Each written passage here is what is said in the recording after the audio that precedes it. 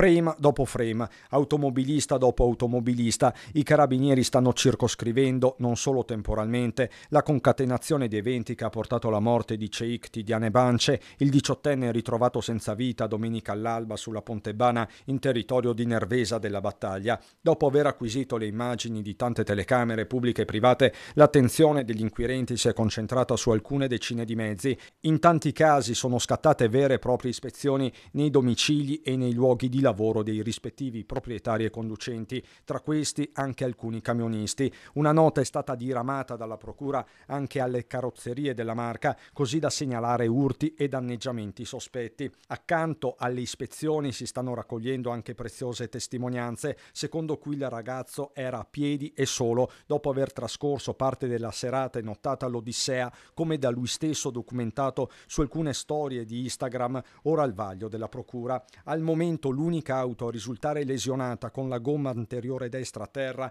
è questa Clio scura appartenente alla donna, un'infermiera che domenica mattina di rientro dall'aeroporto Canova ha lanciato l'allarme accanto a un altro automobilista. Il mezzo è ancora sotto sequestro e anche questo non è affatto un dettaglio. Probabile che il ragazzo sia stato urtato mentre era già riverso a terra. Chiaro che la fase è delicatissima con la procura che attende l'esito dell'autopsia che si terrà nelle prossime ore e che dovrà soprattutto escludere un'eventuale aggressione precedente l'investimento, ipotesi non prevalente ma che resta sul tavolo degli inquirenti. Cosa ci facesse un diciottenne in questo angolo oscuro di Pontebana è ancora un mistero.